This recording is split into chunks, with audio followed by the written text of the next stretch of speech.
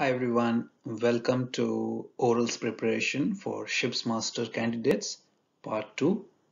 I hope you've watched Part 1 of this series, otherwise you can find the link to that video in the description section below. Today in Part 2, I'll take up a set of another 5 or 6 questions and discuss them so that you are prepared to answer similar questions in your oral examination. Let's get started. So in today's video, the first question is that you are alongside working cargo in a port and you have been informed that a tropical revolving storm, a TRS or a hurricane is imminent. That means that it is going to hit the port. There is no option. You, are, you know for sure that it is going to hit the port or pass through the port. Now as a master, what are the options available to you? So how would you answer this question? Now in any vessel in port, in the direct path of a tropical revolving storm, you will have some limited options and each options would depend on the circumstances that are affecting the immediate area. However, there are certain things that you will definitely do before we discuss the options. So firstly, of course, is you should have been monitoring the track of the TRS. So the TRS just did not come out of nowhere. It must have been there in the vicinity and you as the master, you should have been tracking it. If not, then you start monitoring the track of the TRS. What was the past path? What is the predicted path? Once it hits the port or it passes through the port will it die down? Will it pass through the port and still continue to evolve? So you have to definitely monitor the weather the track of the TRS now because you are working cargo in port you must immediately stop all cargo operations. You must close up all the hatches if you are in a dry cargo vessel and start resecuring the cargo lashings so let's say if you have containers on deck then you must start checking the lashings of the containers. You must check the lashings of all the loose gear that is there on the ship's deck depending on the kind of vessel you are on of course I cannot cover all the vessels but make sure that whatever loose gear you have on the vessel whether it is uh, lashing gears whether it's life boats life rafts accommodation ladders pilot ladders make sure that you adequately secure them. And if you cannot secure them then you must bring it inside a store or the accommodation. Alright, then make sure you ask the chief officer to check the vessel's GM. Alright, that is the stability indicator, the vertical distance between center of gravity and the metacenter and ensure that you have removed all free surface. So the tanks should either be completely full or completely empty. This is because if you do proceed to sea then because of those slack tanks you should not have any free surface effect that due to the vessel's rolling or pitching may reduce your GM further and put your vessel in a precarious situation. Inform the engine room because the engineers may not know about the TRS so make sure you inform the engine room, you inform all staff and ask them to start securing the loose material or loose gear in their department. So you also inform the galley staff the cooking, the catering staff, tell them to secure everything in the galley because some of them could be fire hazards or injury hazards because they have knives, sharp objects. You tell the same thing to the engineers to make sure that they are prepared. Also, put the engines on standby. Although you are in port, ask them to get the engines ready. And now as the master, you have to decide whether you want to stay in port or you want to proceed to sea. So let's see what are the couple of options available to you as a master. Option number one, you can either proceed to sea or to a nearby anchorage of the port. But you have to consider, there are certain factors that you have to consider before you decide to do so. Firstly, you have to decide or you have to monitor the speed and the track of the tropical revolving storm. So if you have decided to proceed to sea, is it possible that you will run into the tropical revolving storm?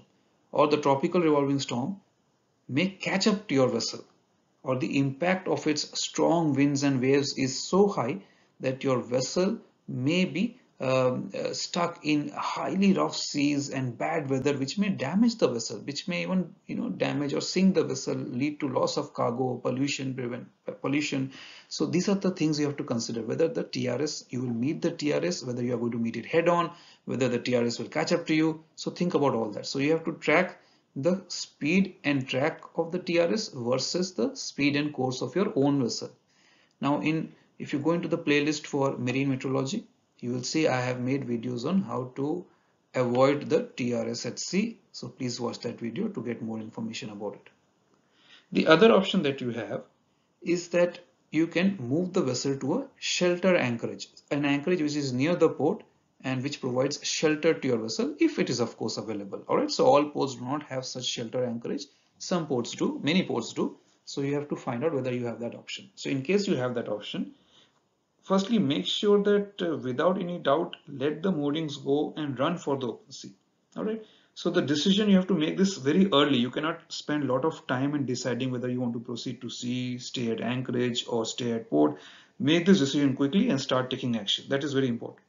So don't put it for too late. Otherwise you will be caught and uh, your vessel will not be safe. So if you have decided to go to the shelter anchorage, decide it quickly use both anchors drop the anchor so that your vessel is secure. Although it is a shelter anchorage maybe you are taking shelter from the strong winds and waves. You still don't take any chances. You drop both anchors.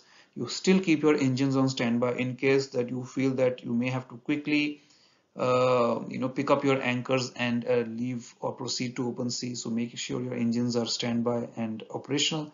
And uh, of course you have to maintain the anchor watch at all times especially in respect of monitoring sea and weather conditions. So although you are in a shelter anchorage, you have taken shelter in a, you know, behind a sheltered land mass or something like that. And uh, you feel that you will be protected from the strong winds and waves. You still have to continue monitoring the weather conditions, including the pressure, the atmospheric pressure as well. And if you feel that at any point of time your vessel may be dragging on toward dangers or it is not going to cope well, you have to quickly pick up your anchors and move out to sea. So what is the second option available to you? The second option available to you is to remain alongside in port. Alright, so then what would you do? Now, this would not definitely be the first or even the second choice according to many masters. And uh, it only happens if the engines are disabled maybe you know some maintenance work is carrying out and you have no other alternative. This is according to many masters. I do not agree. I feel that it is up to you as the master uh, to decide what is the best for your vessel. So in case you do decide to stay alongside in port make sure that although you are in port it may be considered a sheltered place make sure you maximize the number of moorings that are used to keep the ship alongside now you can see here in the on the screen, normally the moorings used are depending on the ship size. Of course, you have five to seven mooring lines, but when you're alongside in port during a TRS or passing nearby, you have to maximize, use all your mooring ropes if possible, use all of it. Do not underestimate the power of winds and waves generated by a tropical revolving storm, although you are in port. All right, so I have been in port many times during such cases and we have used up to 18 mooring ropes sometimes uh, to keep the vessel alongside.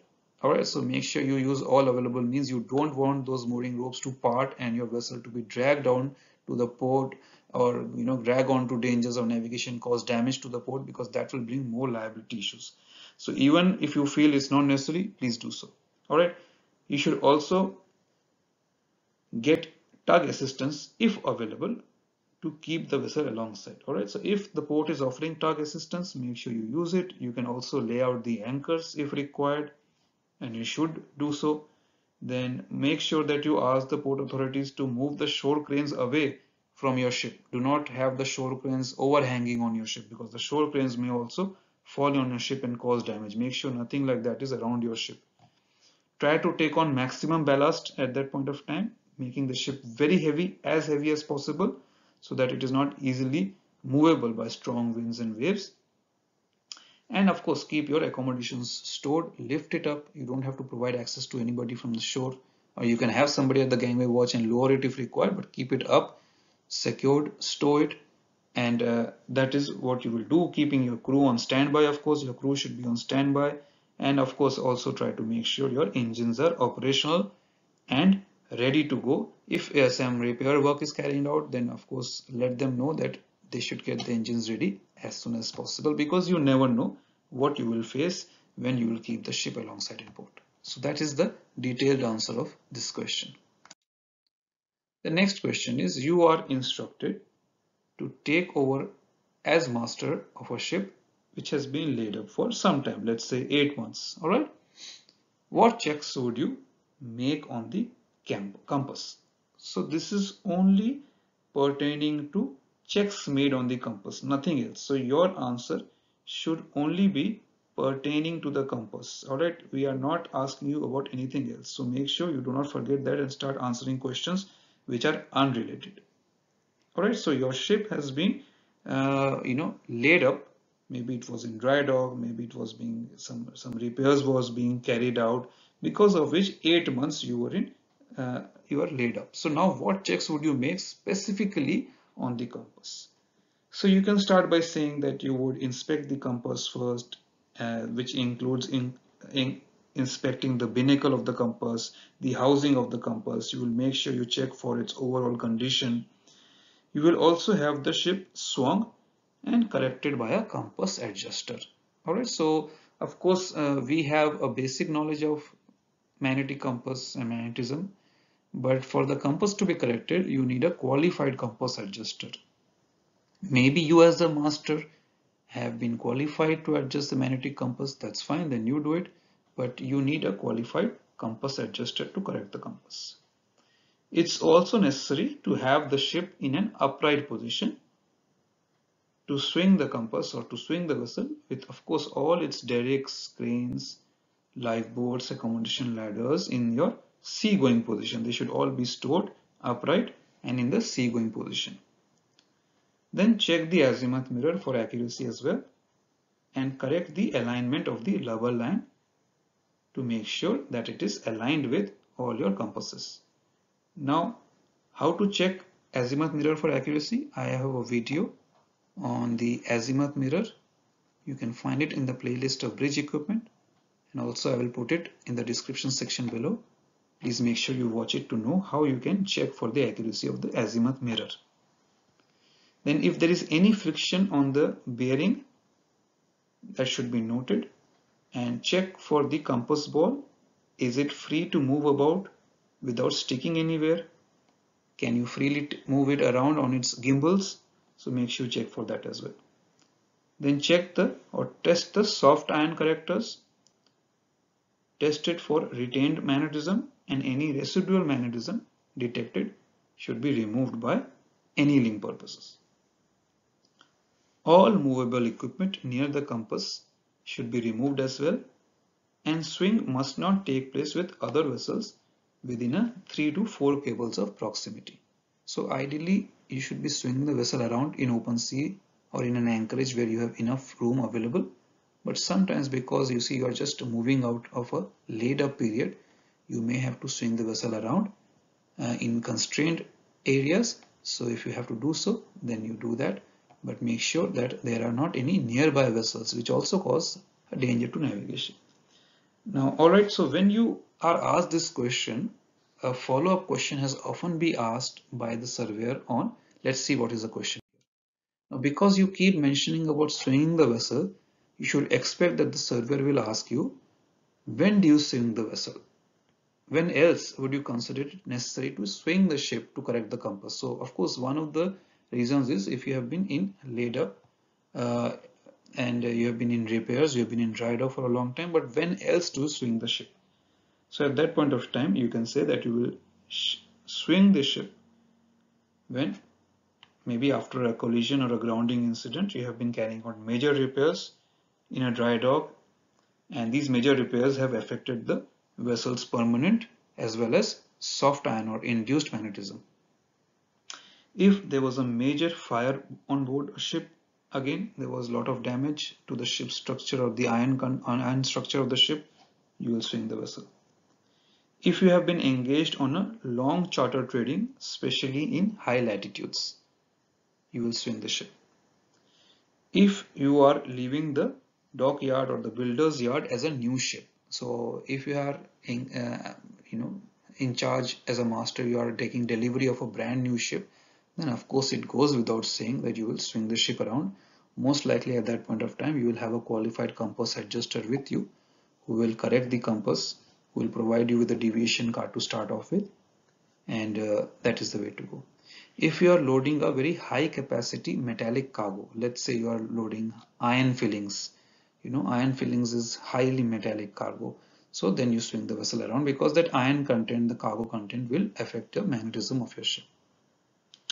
If you find that the compass errors have become excessively large for no apparent reason or the compass is becoming unreliable you cannot rely on the compass because of these weird readings the you know these numbers that you were not getting before of deviation or compass error is unusually high or low or you know something strange something that you have not observed then you swing the compass again if you feel that if any electrical or magnetic equipment has been added to or removed from the proximity of the magnetic compass because that electric and magnetic equipment was also having an influence on the magnetism of the magnetic compass.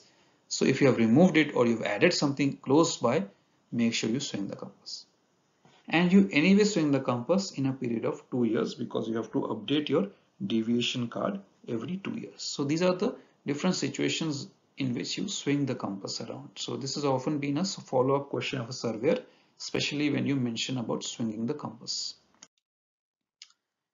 Now the next question is that you are the master of a vessel of course inside the summer load line zone right and you have received a distress signal from a vessel who was in a who is in a uh, winter load line zone. Now the question to you is is it permitted to take the vessel into the winter zone? Although you are in a summer load line zone can you take the vessel into the winter zone especially knowing that your vessel will be overloaded?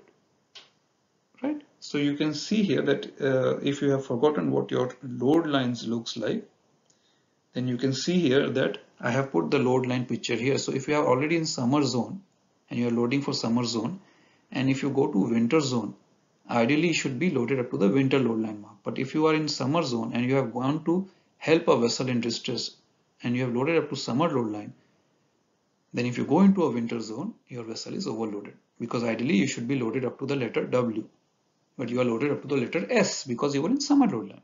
So would you take your vessel there or not? What are you supposed to be doing?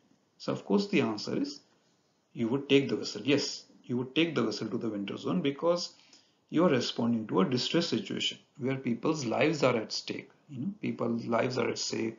There's a pollution danger. Maybe the ship is sinking. There's there's there's there's safety in life at stake. So you would of course put priority on the safety of life. So your vessel may enter the winter zone only for the purpose of responding to the distress situation so as soon as you finish or you are not required you will immediately leave that situation so once the distress situation is resolved it is anticipated that your vessel would take the shortest and the safest route to return back to the summer load line zone where your vessel will not be considered to be overloaded. Alright, so you only go into the winter zone to provide assistance to rescue the vessel, rescue the people of the vessel in distress. But if the situation has been resolved either by you or by some other vessel, or the rescue coordination center has told you you are not required, then you immediately turn your vessel back to the summer load line zone. Alright because by law you should be in summer load line zone based on your load line marks. However, because you are answering an oral examination question, without fail you must always mention about noting down the deviation of voyage in the logbook. You must make entries in the official logbook, in the deck logbook. Uh, you must note down the events, the detailed events. From time uh, you decided to change the voyage. From the time you decided to you or you obtained or you received the distress signal uh, if any communication made with the company charter any kind of communication everything should be filed. Everything should be um, entered as evidence and as soon as you decided to resume your voyage come back to the safe uh, ship summer zone you must make entries there as well so the entire operation should be logged in the logbook no matter how trivial or how small the issue or matter was. A follow-up question to this would be when would a master not have to respond to a distress signal? So then you can say that as a master you don't have to respond to a distress signal if it is considered unreasonable or unnecessary to do so. So let's say you have received a distress signal from 600 800 nautical miles. It will take you many days to reach there. Or maybe your ship's engines are not in a good condition and you have received it and you know that you will not be able to make 600 800 miles quickly. Um, so at that point of time it's unnecessary it's unreasonable. You cannot reach on time. So you have to let the rescue coordination center know. Or you can just say that it is unpractical for me to do so impractical not unpractical impractical for you to do so you will also not respond to a distress signal if the distress vessel has sufficient vessels already requisitioned to assist and your vessel has been released from the obligation of attending by the RCC, the Rescue Coordination Center. So maybe that vessel is in distress, but it is in distress in a busy area where there is a lot of traffic. Ships which are nearer to it have already responded and you are further away from it or other ships will reach much before you then you don't have to go to it. All right? And then you should you should always be logging all this in the GMDSS logbook. That goes without saying. All right? Then also you will not proceed to it if that action would endanger the master of your master's own vessel or crew. So let's say your vessel is not equipped to deal with a distress or you are, uh, you know, then and you are taking that vessel and you are taking your vessel to help another vessel that will put your own vessel in danger. So that would not be right. So you cannot as a master put your own vessel in danger, put your own ship's crew in danger and if you can justify it then you do not have to proceed to distress signal. And finally, when the distress has been cancelled by the distress party and the distress party no longer requires the attending vessels, then you don't have to proceed for the rescue as well. Alright, so these are the situations under which you will not be proceeding to help or respond to a distress signal, but make sure, although I have not put it here on the screen, make sure that you mention that you will be logging events anyway whether you decide to proceed or not proceed. If you have received a distress signal you will note down the details of the distress signal and also note down the reason for which you have not decided to proceed. Alright so if you have been instructed from the RCC then you note that as well. Keep a copy of that communication as well whatever is the reason you will note it down in the GMDSS logbook. Do not forget to mention about documentation logging of events all that. That goes without saying. Alright so I'll stop the video here. It's uh, long enough and I will come up soon with part 3 I'm getting some good feedback from you guys so I will continue with this series. But do let me know if you are not happy with this series and you want me to stop making videos on it. Thanks for watching guys. All the best with your studies and bye for now